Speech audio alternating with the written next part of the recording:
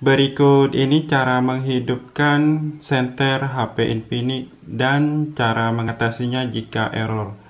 Jadi untuk itu langsung saja berikut ini bagi kalian yang masih pemula menggunakan Infinix.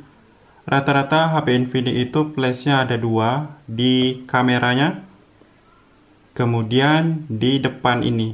Jadi untuk menghidupkan berikut, kalian bisa cari di bagian panel notifikasi ini Cari menu center. Kalau tidak ada bisa pilih di sini dan kalian lihat di bawah. Seperti itu. Jadi untuk menghidupkan center dengan normal seperti ini cukup sentuh lampu center ini. Nah itu kan sudah aktif yang namanya centernya. Kalau ingin keduanya, depan dan belakang, kalian tekan lama di center ini. Hidupkan dulu. Tekan lama. Nah, di sini kan ada yang namanya cahaya 360 pilih nah itu depan belakang juga ikut aktif. Kemudian tekan lama pilih lampu depan. Nah yang ini cuma nyala yang depan yang belakang tidak.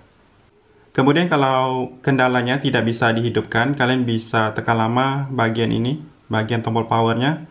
Kalian matikan dulu HP-nya matikan dulu lalu kalian hidupkan ulang coba kalian aktifkan senternya. Uh, kalau tidak aktif juga, lakukan tes. Biasanya kalau modulnya itu sudah rusak, kalau kita tes tidak nyala, nah itu harus diganti. Caranya buka menu telepon, kemudian ketik bintang pagar 90 pagar. Kemudian pilih korek yang ini dan pilih manual test. Nah, untuk center, pilih yang torch, torch yang ini dan ini ada untuk senter belakang seperti ini. Ini untuk senter belakang juga. Ini untuk senter depan. Nah seperti ini. Kalian tes saja modulnya apakah aktif atau tidak. Kalau ini pakai tes ini aktif kalian harus reset HP-nya supaya sensornya itu bisa diaktifkan dari sini bisa ketik atur di sini. Ketik atur. Nah seperti ini. Tapi reset ini hanya opsi terakhir saja.